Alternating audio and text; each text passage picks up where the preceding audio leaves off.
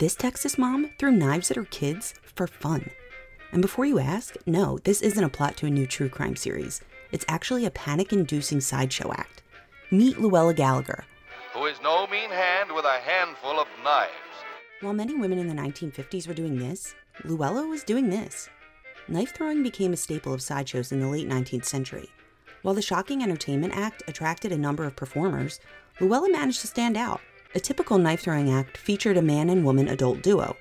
But the Gallaghers were all in on family performances.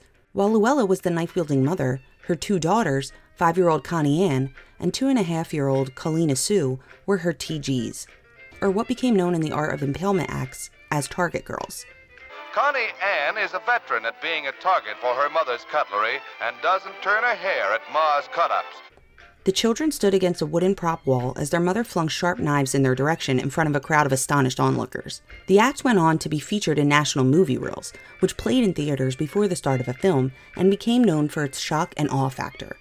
I think we can safely say that Louella's act prompts shock and awe.